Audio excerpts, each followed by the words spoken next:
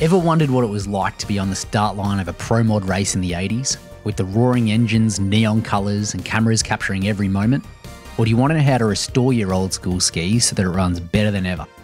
Ride by Day, Wrench by Night, presented by Vintage Jet Ski, is a new podcast that will cover these questions and more.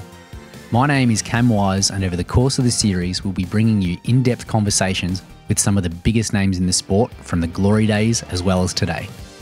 Subscribe now on Apple Podcasts, Spotify, or via your favourite podcast app to ensure you never miss a beat.